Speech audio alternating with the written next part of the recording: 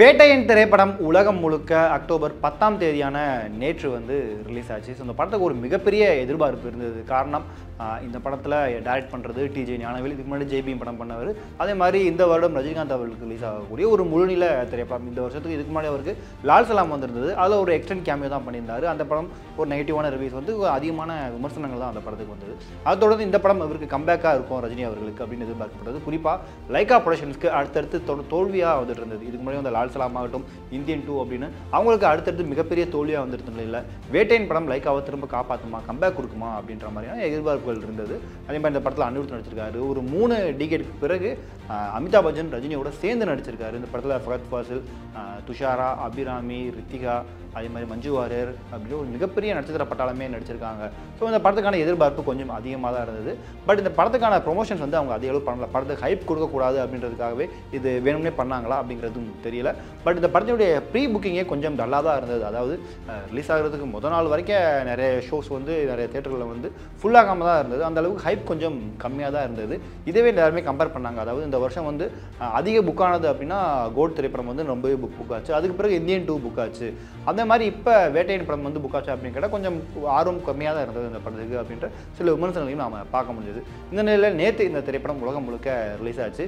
படம் பார்த்த எல்லாருமே படத்தை கொண்டாடிட்டு இருக்காங்க. ஒரு பக்கம் ரஜினி ரசிகர்கள் இந்த படத்தை கொண்டாடிட்டு இருக்காங்க. என்கவுண்டர் அப்படின்ற ஒரு விஷயத்த மையமாக வச்சு இந்த படத்தில் அவங்க எடுத்துகிட்டு போயிருக்காங்க. அதே நேரத்தில் கல்வியை வந்து பிஸ்னஸாக பண்ணுற அந்த கோச்சிங் சென்டர் இந்த மாதிரியான விஷயங்கள் மூலமாக பணம் சம்பாதிக்கிறவங்க மக்களை ஏமாத்துறவங்க இந்த மாதிரி நிறைய விஷயங்களை இந்த படத்தில் டிஜே ஞானவேல் தனக்கே உண்டான ஸ்டைலில் பேசியிருந்தாரு.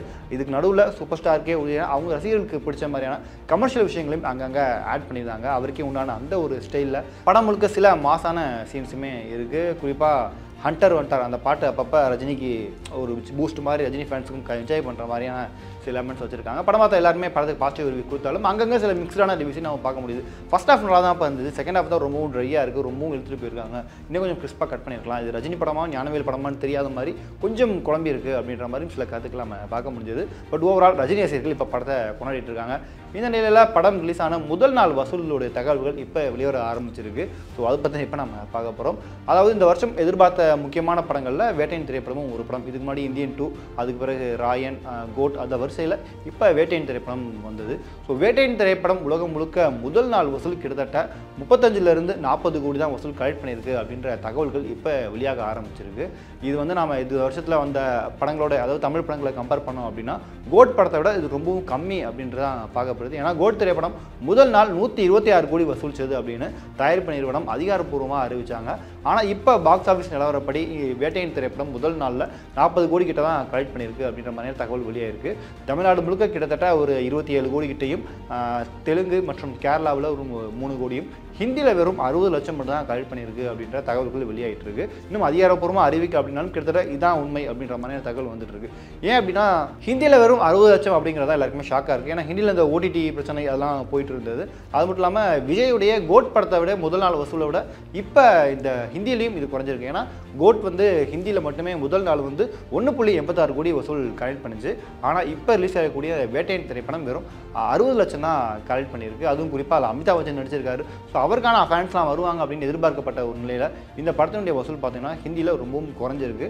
ஓவராலாக நம்ம எடுத்துக்கிட்டோம் அப்படின்னாலுமே இந்த படத்தினுடைய வசூல் வந்து இப்போ நாற்பது கோடி கிட்ட தான் இருக்குது ஸோ இந்த வசூலை நாம் கோட் படத்தினோட கம்பேர் பண்ணோம் அப்படின்னா ரொம்பவும் மிகப்பெரிய வித்தியாசம் இருக்குது ஸோ விஜய் ரசிகர்கள் இன்டர்நெட்டில் இது வந்து இந்த வருஷமும் நாங்கள் பாக்ஸ் ஆஃபீஸ் கிங்கு முதல் நாள் வசூல் எங்களுக்கு தான் அப்படின்ற மாதிரியான சில விஷயங்களை அவங்களும் போஸ்ட் பண்ணுறதை நாம் கவனிக்க முடியுது. இன்னொரு பக்கம் ரஜினி ரசிகர்கள் முதல் நாள் வசூல் தான் கம்மியாக இருக்கும். படத்துக்கான பாசிட்டிவ் ரிவ்யூஸ் வர ஆரம்பிச்சிருச்சு. ஸோ பூஜா காலேஜ் அடுத்த மூன்று நாட்கள் இருக்குது அதாவது வெள்ளி சனி ஞாயிறு அப்படின்னு அடுத்த மூன்று நாட்கள் இருக்குது ஸோ கண்டிப்பாக இந்த படம் ஒரு மிகப்பெரிய ரெக்கார்ட் பண்ணும். அடுத்த நாள் அதாவது இன்னைக்கு டே முடிகிறப்பவே இந்த படம் கண்டிப்பாக நூறு கோடி கலெக்ஷனை தொற்றும் அப்படின்ற ஒரு எதிர்பார்ப்பு ரஜினி ரசிகர்கள் மத்தியில் இருக்குது அது மட்டும் இல்லாமல் இப்போ அட்வான்ஸ் புக்கிங் அதாவது அடுத்த நாட்கள் இப்போ வெள்ளி சனி ஞாயிறு இந்த மூன்று நாட்களுக்கான அட்வான்ஸ் புக்கிங்குமே இப்போ ஆரம்பிச்சிட்டாங்க. ஃபேமிலி ஆடியன்ஸ் சில்ட்ரன்ஸ் எல்லாருமே இந்த படத்தை வந்து பார்ப்பாங்க. அவங்களுக்கான படமாக இந்த படமாக இருக்கும் அப்படின்னு. அட்வான்ஸ் புக்கிங்கும் கொஞ்சம் ஆரம்பிச்சிருச்சு அப்படின்னு சொல்லப்படுது. அட்வான்ஸ் புக்கிங்லேயே கிட்டத்தட்ட இப்போ ஒரு ரெண்டு கோடி கிட்ட பிஸ்னஸ் கனெக்ட் ஆயிருக்கு அப்படின்ற மாதிரியும் சொல்கிறாங்க ஸோ இந்த வேட்டையின் திரைப்படம் எப்படியும் வரக்கூடிய நாட்களில் வந்து இன்னும் அதிகமான வசூலை கலெக்ட் பண்ணும் அப்படிங்கிறது எந்த வித சந்தேகமும் கிடையாது.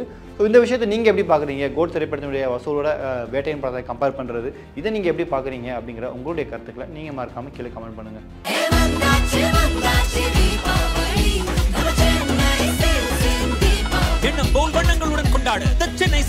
പരിപാടികളുடன் ലെറ്റസ് സെലിബ്രേഷൻസ് ബിഗിൻ